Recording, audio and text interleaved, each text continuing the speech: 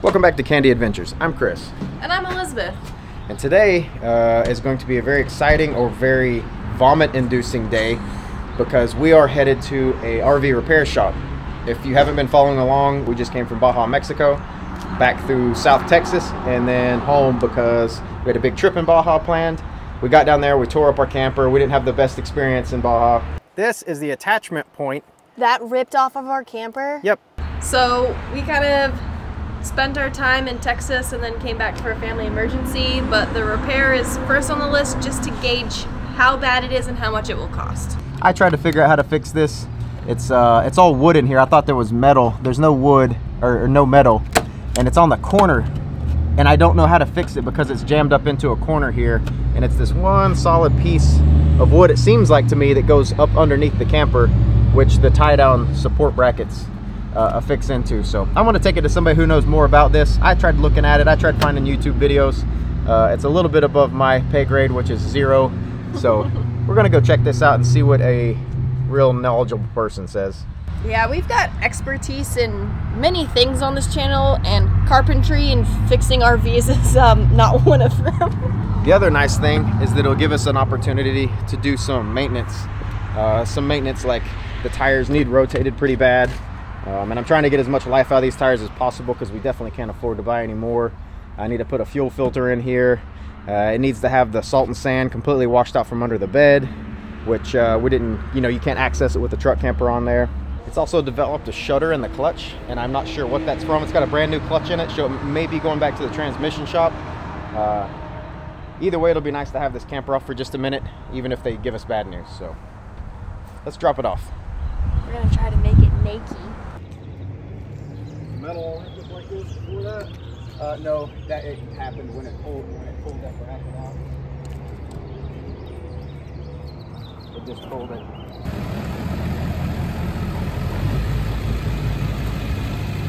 All right, so as you can see here, uh, we didn't stay at the shop long. Um, as I guessed, uh, a shop may be a little bit out of our budget. Um, they said that if they were going to do it, um, they would want to make it back to factory, which is understandable, you know, because they have liability. Uh, they would want to do it right, and uh, I said we can't afford to do it right. So we are back here.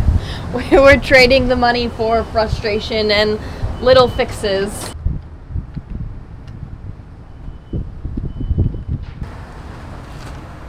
Okay, we have four of these to do. That's really slow. So what I did, that's a half inch hex head. So I just found a half inch bolt and put it inside this drill because we don't have the uh, power ones. These are manual ones, and this is way faster. Wow. So that's way better. Another reason why we were hoping um, a shop could do it and not us is because we don't have a dry space to work on this. It is outside all the time. Um, on the truck, off the truck, doesn't matter. We just don't have a garage or a canopy or anything that this can fit under. So being in Asheville where it rains all the time, that that causes problems. You're just going to be working in mud and rain and trying to keep stuff dry that's going to inevitably get wet. So we'll see how we work around that. But that was one of the reasons why we were hoping a shop would take it. But like Chris said, we just um, don't have the funds for it at the moment.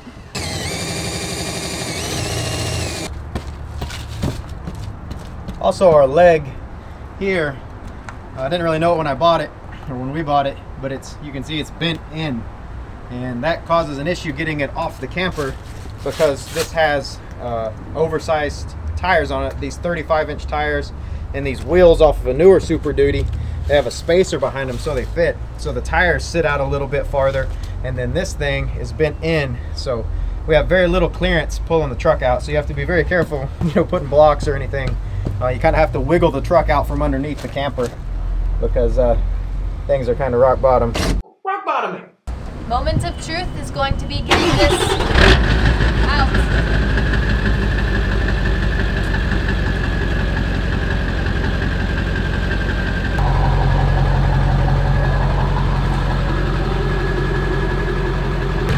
How was this possible the first time? Okay, so after this other problem of the camper reared itself, where we can't get the tires back through, Um, the way we did it originally when I bought it, the guy had it in a garage with nice flat ground and you have to zigzag in because there's not enough clearance to get these tires in between the poles. You kind of have to pull forward and then cut the tires and you kind of zigzag in between these because these are bent and that's because these are spacered out and bigger tires. Um, so to get around this thing being bent, I'm putting just enough love on it with this ratchet strap. So hopefully this Home Depot ratchet strap has enough BDE to uh, pull this pull this just enough out of the way. There it goes. Oh yeah. That works. We should be able to just make that. Yeah, now it'll just clear. And that's straight like it's supposed to be. But I'm worried because it puts stress here on the wood. But we're kind of running out of options, so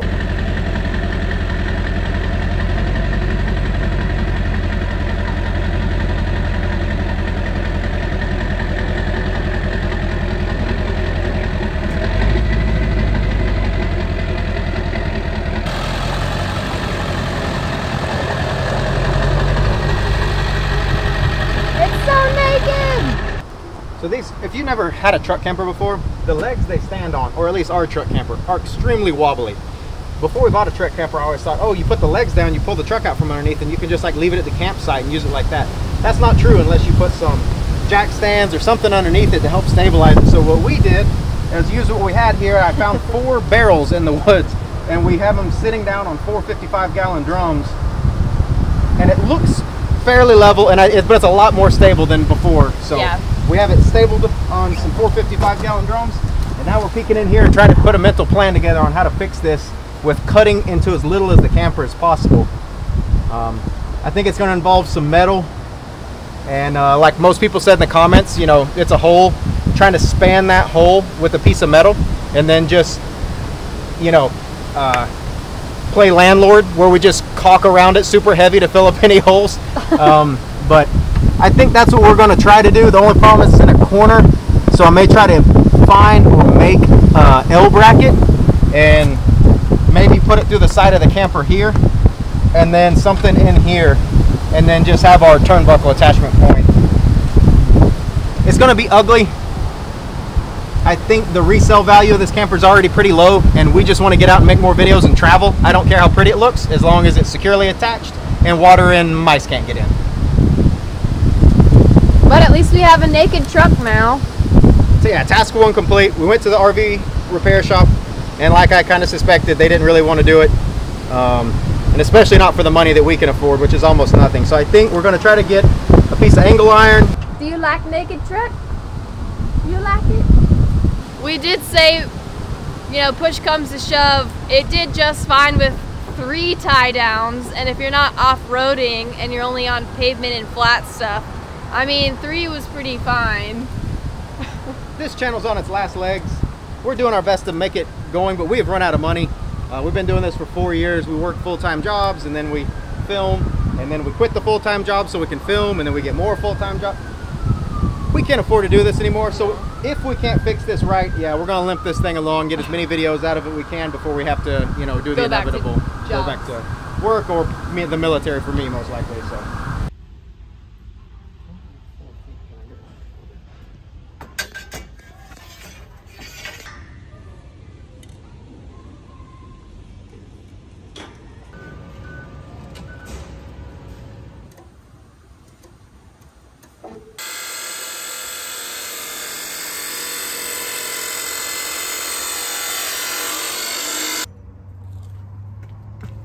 Okay, so the plan here is what we've got is I'm gonna make a bracket like this. I'm gonna weld this at a 90 degree angle and affix it to the camper and hopefully that will fit. So let me show you what my thought is. I can use this to go connect in to some of the good plywood that's still under there. And then this piece, I'm gonna run it like this up here and attach it through the sidewall and put two big 3 8 bolts going through and then I'll put nuts on the inside and sandwich it in with another piece of metal plate just like this so it'll be pulling from the sidewall and reaching back and grabbing some of the good plywood so it's gonna look like that but on the inside of the camper uh, where you can't see it.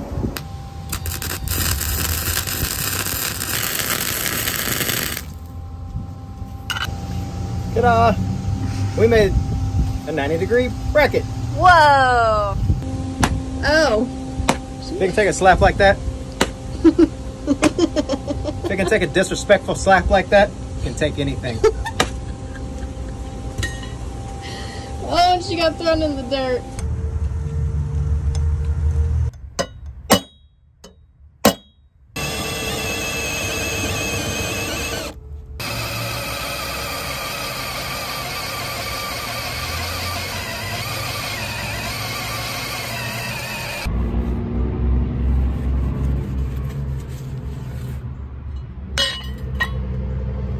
Taking a little paint thinner to get all the uh, lubricant that we were using for the drill bits.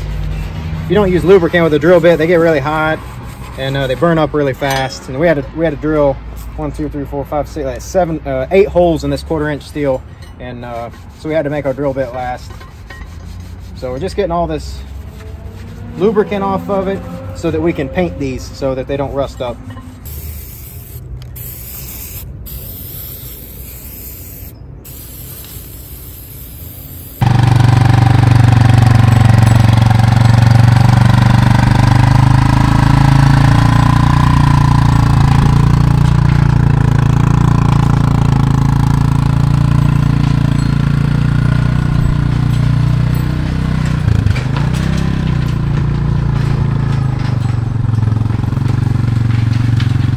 All right, it's the most unnecessary thing I'll do all day.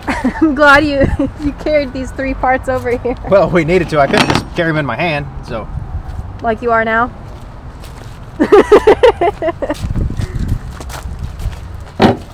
we're kind of in the, in between family emergencies and fixing the camper. We kind of go back and forth, so that's why it's taking a little longer than uh, it should.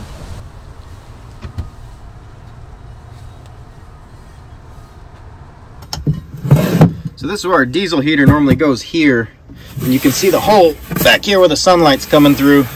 Um, we took the diesel heater out, one because, uh, you know, also it broke. So I have it out right now uh, trying to fix it, which is uh, convenient though, because we're going to put the plate right below it and then the diesel heater can just sit on top of this plate. So it doesn't really affect anything. Uh, the good wood we're trying to get into is ends right about here. This is still rotten underneath my fingers here.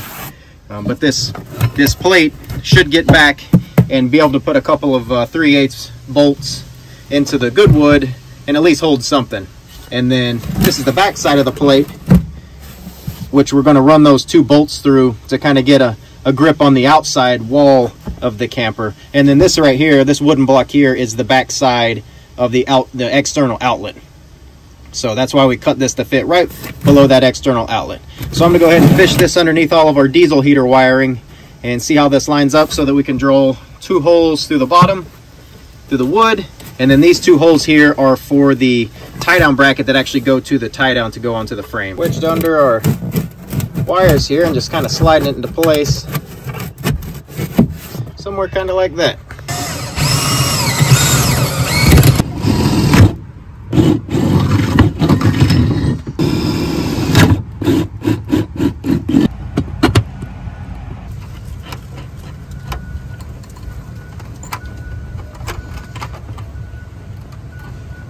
All right, this next hole, that's not the one I was worried about. It's this next hole where we have to uh, drill through the beautiful side of the camper that has no damage and it's getting ready to get two 3 8 inch holes in it. So, oh boy, here we go. Whoa.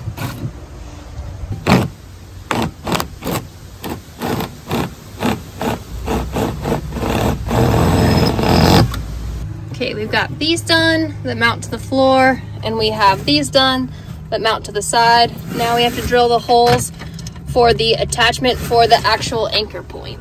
Just cutting the old metal, the old flashing on the bottom back. It was pretty beat up. Um, but to get this plate here where it ripped the hole out, we're just kind of cutting a more of a square place that we can just put an easy patch over. And it also allows me to get access to put these bolts through because the way this is all cut up and mangled, it doesn't allow you to slide the bolts through very easy.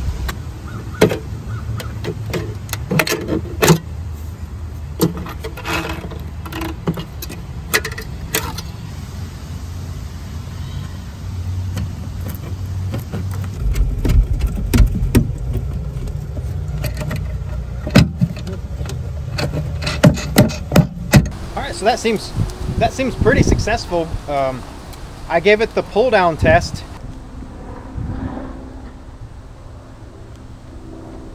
And if you'll notice, they are very CandE Adventure style. They are they are uh, eyeball at once and, and make about 15 cuts and welds, making your bracket. And you can see this isn't level.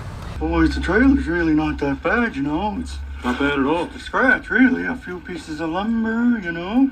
We fix it up. I think that's because inside the camper where the wood is missing, um, not level. It's not level, so I didn't take that into consideration during the fabrication portion of this. Rock bottoming. You're rock bottoming. I am. But we got our bolts in here. Ba- This right here is all the bad wood, and the more we look, we see that there's bad wood all the way through here. But we're not going to worry about that. We're going to focus here on the fix, and we're going to put some new flashing to cover this hole right here. Stick these two bolts through, and we should be done with this portion of the repair. Convenient that this scrap was just laying around. It's the exact same material. It is extraordinarily convenient. Good enough. If you can't tell, we're on a little bit of a panic time crunch. Um, that looming, that looming military enlistment is getting closer and closer as uh, every payment that we make in the background continues. Our income is not continuing. Um, so speed is of the essence. So things are crooked, things are done not quite the best way, but we're trying to pump out some more videos for you guys before the inevitable happens. These are our arguably most consistently okay performing videos is this RV truck camper um, sort of video content. So we'll try to make more. That's that's another reason why we're just putting effort into the camper versus just ditching it and making videos doing something else until we run out of money.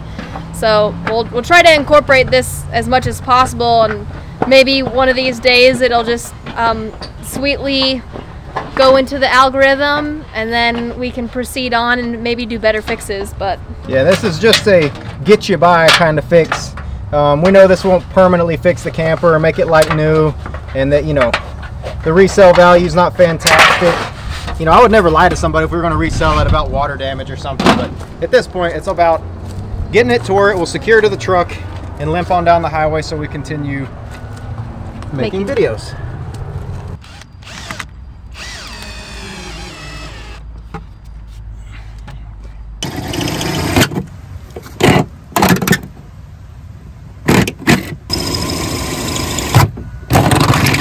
We reinstalled uh, a leftover piece of the original bracket, the actual bracket itself. But that looks pretty good, and as you can see, this is our diesel heater fuel line. Our diesel heater goes in here, so that's next. Put a new glow plug in that, and that's it. all that's left is caulking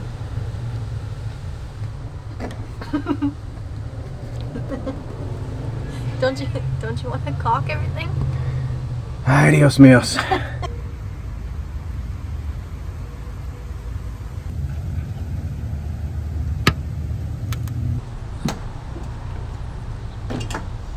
Welcome back, campers. It's day two, and our fix um, is still standing, which sh- shows us nothing because, of course, there's no weight on anything. But it still does feel really strong. All the caulking had up, held up, and it rained a lot last night, and nothing's nothing's wet. no and it's still ugly but that's okay it's functional It's very, very ugly. Uh, again, if you've seen those landlord memes, you know, when in doubt, caulk it out. That's kind of what we got going on here.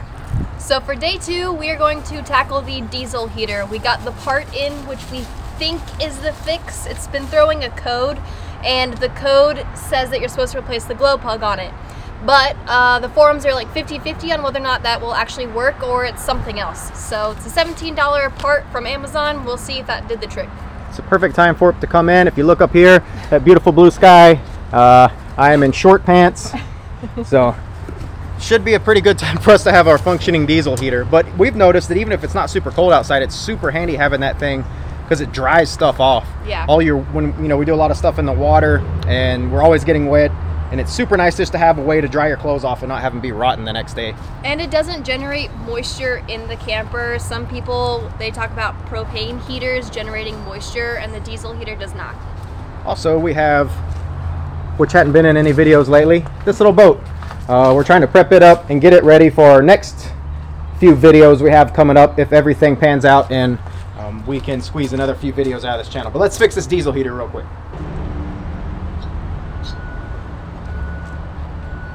This is the old glow plug that I had to cut the wires off of because uh, we didn't have the special socket yet. So this is the old glow plug and you can see where it chipped and broke. And that's why it was throwing that E3 code, which is a very common code. Uh, and so when you buy these kits, they're pretty universal. And you get your new glow plug.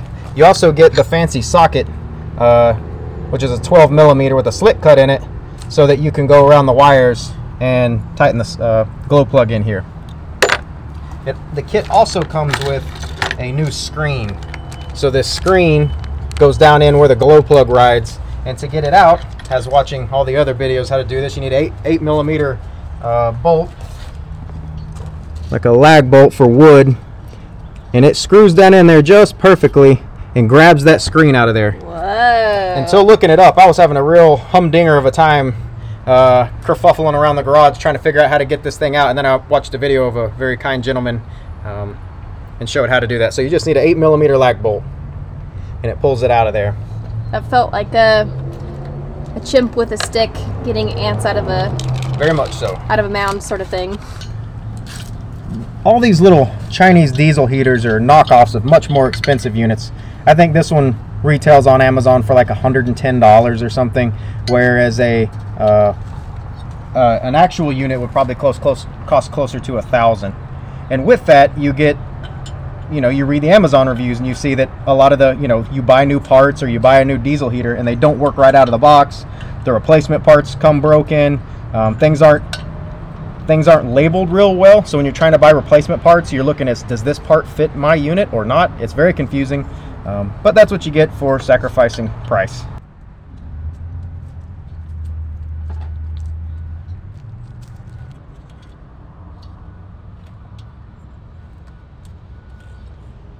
And, and uh, other than that, all you need is one Allen key to take this one screw off right here.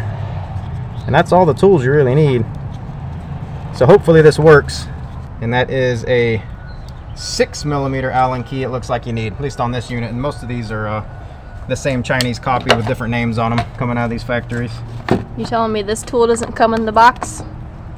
They don't come in the box. I think that's a little too R-rated for our channel. No. I was worried because some of these have different color, like the boot, the protective boot is a different color on these. And it's, oh man, is that a different model or a different unit? But it seems to be the same. This is blue and that's white. But other than that, um, everything seemed to line up and fit. So I guess you don't have to pay too much attention in the photos of the products about the colors on these.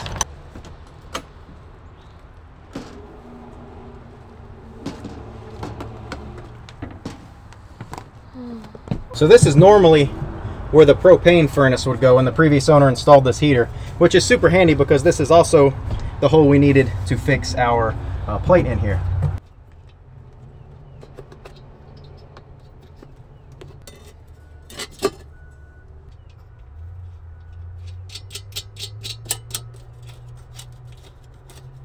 Tight little space you're working with there.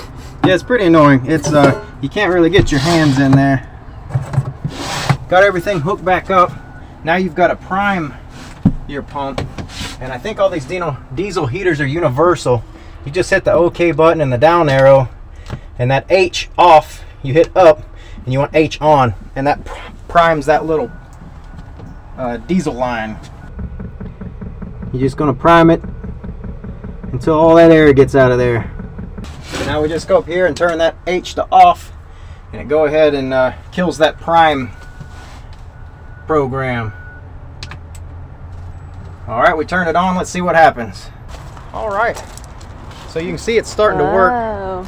When it first starts heating up, it puts out a little puff of smoke and it starts getting hotter and hotter and it starts burning really clean. So looks like it's working.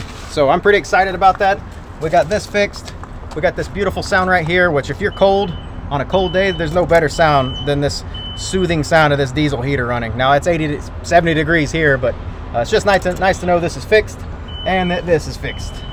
It's just a stress relief even if we're not going to use it because every time you know you have these little tasks that just start building up well you have this task now and this one and this one it makes you not want to do any of it so just checking it off the list getting it done even if we're not going to use it is just that little bit of relief like okay one less thing we have to worry about I know you can't see the heat